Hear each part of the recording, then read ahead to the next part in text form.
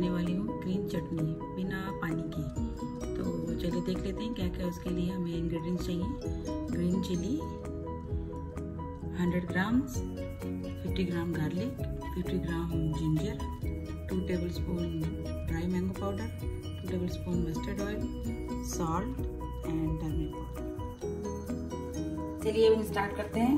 मैंने green chillies को crush कर लिए हैं, गार्लिक को क्रश कर लिया है, जिंजर को भी क्रश कर लिया है। अब हम इसको मिक्स करके उसकी चटनी बनाते हैं। तो चलिए स्टार्ट करते हैं। पहले हम ग्रीन चिली डालेंगे। ग्रीन चिली को डाल के फिर इसके अंदर हम गार्लिक मिक्स करेंगे। फिर जिंजर को मिक्स करेंगे। फिर इसमें हम सॉल्ट डालते हैं। सॉल्ट आप अपने अंदाज से डाल सकते हैं। ये two tablespoon mustard oil है। ये two two tablespoon dry mango powder है ये टर्मरिक पाउडर है। अब इसको हम अच्छे से मिक्स कर लेंगे ठंडी के दिन में बहुत ही अच्छा लगता है सबको खाने में। आप इसको अच्छे से मिक्स करके और कांच के जार में इसको कांच के जार में बस धूप में एक दो दिन रखिए, फिर आप रोटी के साथ राइस के साथ, किसी के साथ भी खा सकते हैं। तो अच्छे से मिक्स करके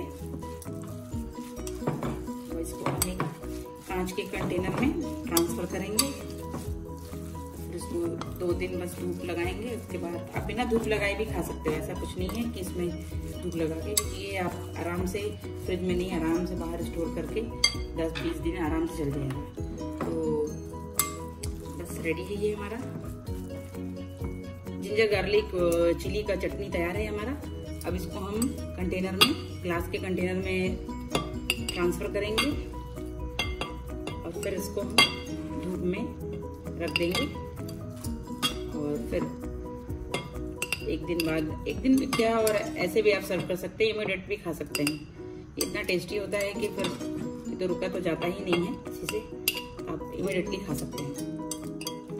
अब ये रेडी है हमारा जिंजर गार्लिक और हरी मिर्ची की चटनी। अब आप इसे रोटी, पराठे, पूड़ी किसी के साथ भी खा सकते हैं।